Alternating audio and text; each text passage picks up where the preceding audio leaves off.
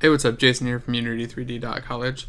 In this video, I just kind of want to talk about building up game objects with components and you know, how many components is a good number, how many is too many, how many is probably not enough, and you know, what's a, a good number of components to actually have on your game object to make the thing work.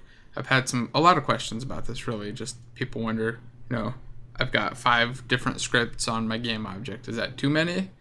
Um, you know, because I guess if you start off, it, it could feel like you've got a lot of stuff there, and it can get a little bit confusing. And depending on how your scripts are set up, it could be a problem.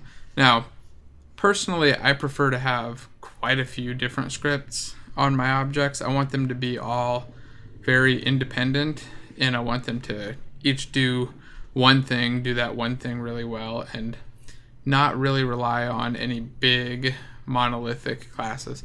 So I've seen plenty of asset packs in games, and I've done it in the past myself, where you have, you know, one big weapon script, for instance, and then this weapon script has, you know, maybe 40, 50 different options on it to toggle. Is it projectile shooting? Is it shooting bullets that go instantly? Is it a beam weapon? And it's just like this big, giant monolithic script with a whole bunch of options. And I guess that's easy when you're just using somebody else's script like you're just taking it, you're not really looking at the code, you're not modifying it, you're just popping it in there and then setting some stuff on there. But when you want to build your own systems and your own code, it can become what I would call a giant nightmare. So having a big giant script that does a whole lot is generally pretty damn terrible once it comes down to actually making your game. Now, like I said, if you're using somebody else's system and you don't need to modify it, you just want to use it as it is, it doesn't really matter if it's if you're treating it like a black box, it just works and does what it needs to do and you don't have to code anything.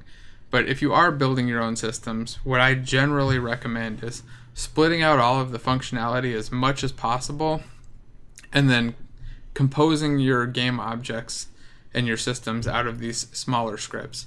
So as an example, I just pulled up the weapon from my VR course. And if you look here, I've got just a weapon script, which doesn't really do anything on its own. You couldn't just have this weapon script on its own because it needs other ways to do things. It needs other components that do things.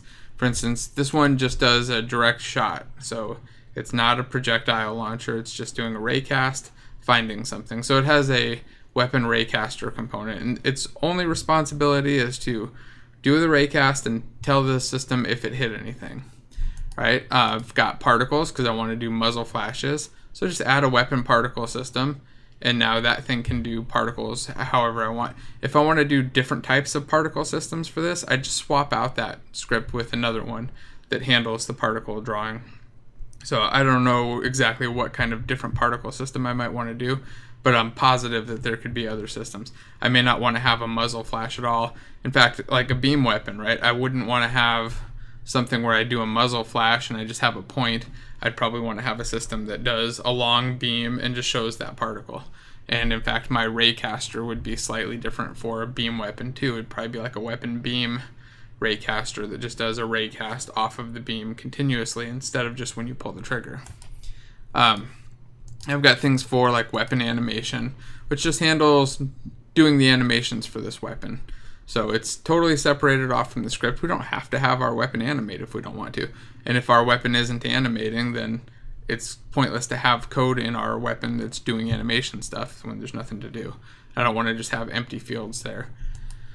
There's an audio script. So this one, again, is more of a basic gun shooting weapon audio. But again, we could have weapons where you hold down the trigger.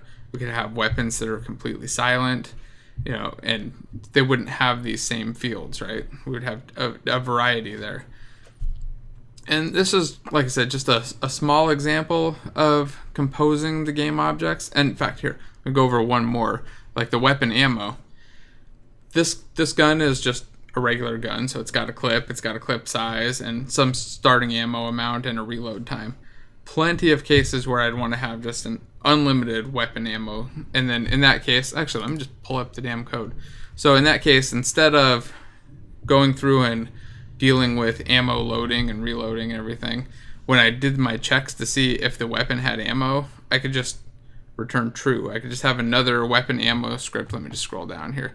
So there's like this method right here, has ammo in clip. All I'd have to do is have another weapon ammo script that does something similar but just returns true if I wanted to have unlimited ammo. Right?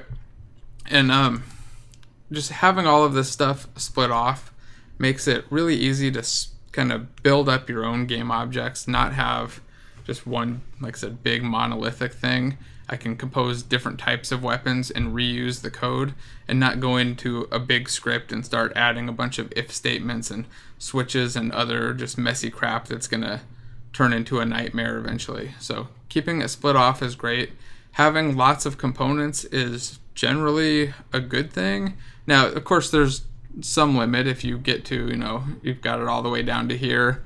You've got 20 components on here. You might want to start worrying. You might think like, hey, do I really need all of these components? Why is this one game object doing this much? And there could be use cases for it where it makes sense, but sometimes it's you know like anything you can go overboard.